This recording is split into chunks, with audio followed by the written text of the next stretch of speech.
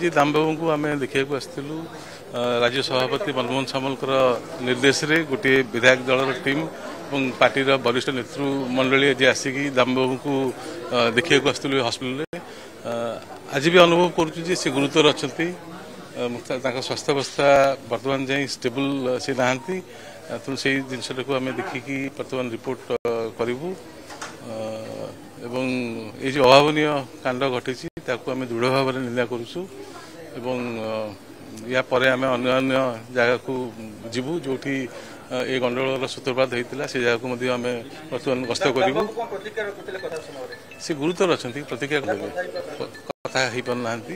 ବର୍ତ୍ତମାନ ଯାଇ ବି ସେ ଷ୍ଟେବୁଲ ନାହାନ୍ତି ଗୁରୁତର ଅଛି ଆମେ ଆଜି ଆମର ବହୁତ ପୁରୁଣା କାର୍ଯ୍ୟକର୍ତ୍ତା ଦାମୋଦର କରଙ୍କୁ ଭେଟିବା ଲାଗି ବିକାଶ ହସ୍ପିଟାଲ ଆସିଥିଲୁ।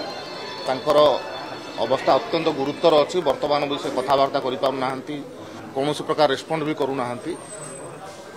ଆମେ ଆଶା କରୁଛୁ ଡକ୍ଟରମାନଙ୍କର ଚେଷ୍ଟାରୁ ଜଗନ୍ନାଥ ପ୍ରଭୁଙ୍କର ଆଶୀର୍ବାଦ କାରଣରୁ ନିଶ୍ଚିତ ସେ ଭଲ ହେବେ। କିନ୍ତୁ ଯାହା ବି ଘଟିଲା ଅତ୍ୟନ୍ତ ଅଭାବନୀୟ ଘଟଣା ଏକ ଶାନ୍ତିପୂର୍ଣ୍ଣ ଶୋଭାଯାତ୍ରା ଉପରେ ଯେଉଁ ପ୍ରକାର ଆକ୍ରମଣ କରାଗଲା ମରଣାତ୍ମକ ଆକ୍ରମଣ କରାଗଲା ଆକୁ ଆମେ ଘୋର ଭାବରେ ନିନ୍ଦା କରୁଛୁ ଏବଂ ଆମେ ଆଶା କରୁଛୁ ଯେ ରାଜ୍ୟ ସରକାରଙ୍କ ତରଫରୁ ହେଉ କିମ୍ବା ଓଡ଼ିଶା ପୁଲିସ ୟା ଉପରେ ଦୃଢ଼ କାର୍ଯ୍ୟାନୁଷ୍ଠାନ ନିଅନ୍ତୁ।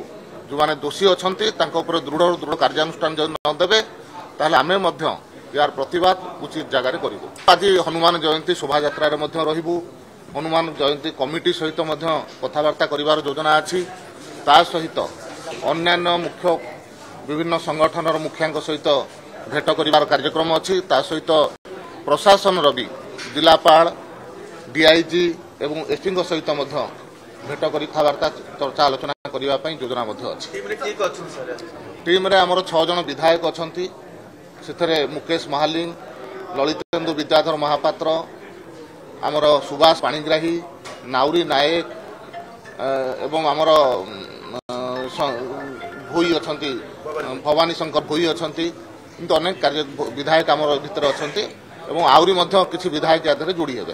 ଆମେ ତ ନିଶ୍ଚିତ ଭାବରେ ଦେଖୁଛୁ କିନ୍ତୁ କଥା ହେଉଛି ଏକଥା ଆପଣମାନଙ୍କ ଉପରେ ଗଣମାଧ୍ୟମର ପ୍ରତିନିଧିମାନେ ଯେଉଁମାନେ ବିରୋଧ କରିବା ପାଇଁ ଆସିଥିଲେ ଏବଂ ସର୍କିଟ୍ ହାଉସ୍ ପରି ପବିତ୍ର ଜାଗାରେ ମଧ୍ୟ ଜୟନାରାୟଣ ମିଶ୍ରଙ୍କ ଉପରେ ଆକ୍ରମଣ କରିବାକୁ ଆସିଥିଲେ ସେମାନଙ୍କୁ ପ୍ରଶ୍ନ ପଚାରନ୍ତୁ ଯେ ସେମାନେ ଆଜି କୋଉ ଜାଗାରେ ଅଛନ୍ତି?